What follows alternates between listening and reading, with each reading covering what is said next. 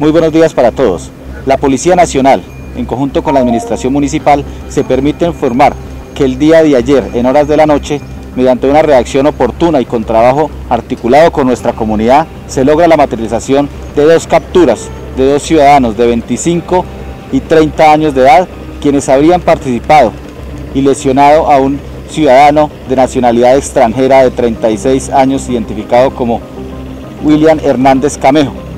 El señor eh, fue llevado al hospital regional donde desafortunadamente momentos después pierde la vida por la gravedad de las heridas. El hecho se había presentado a raíz de una riña por el exceso de consumo de bebidas embriagantes y la intolerancia social. Hechos ocurridos en el sector de la UPTC, barrio San Juan Bosco, donde pues después de consumir bebidas embriagantes se había presentado un alterado, como lo decíamos anteriormente, por intolerancia social y el ciudadano pues desafortunadamente pierde la vida. Como lo decíamos anteriormente, en una reacción oportuna de nuestra policía, en una reacción también y un trabajo articulado con nuestra comunidad, se logra la metalización de estas dos capturas.